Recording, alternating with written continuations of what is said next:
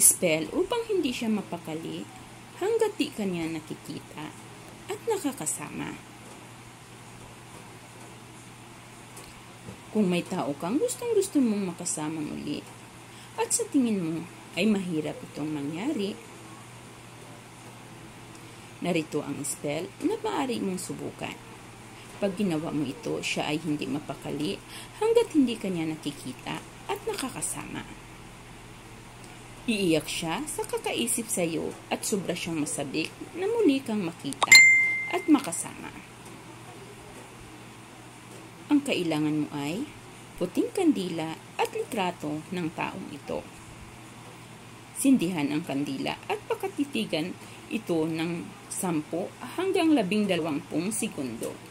Pagkatapos ay titigan mo naman ang kanyang litrato ng ganun din, 10 hanggang labing dalawampung segundo.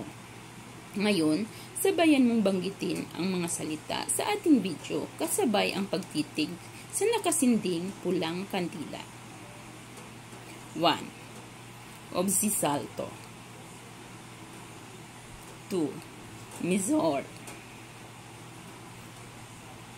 3. Omoto 4. Thymazole 5. Jemenko 6. Rehei 7. Corazonalto Pagkatapos ay makakaramdam ka ng kakaiba sa iyong puso. Gawin mo ulit ito ng dalawang beses pa. Isa kada araw at asahan mo ang taong ito ay masasabik ng husto sa pangungulila sa iyo. Gawin ito ng gabi ng kahit anong araw at oras. Maraming salamat sa panunod. Please like and subscribe.